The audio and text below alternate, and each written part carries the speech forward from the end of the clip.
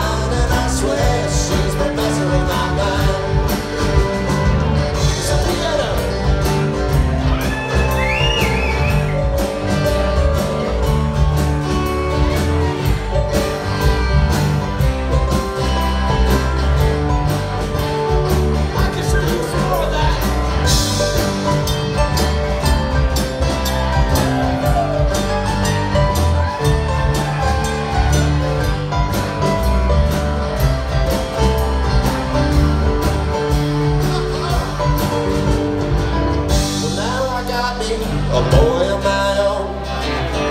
Couple things I'll teach him for he's grown.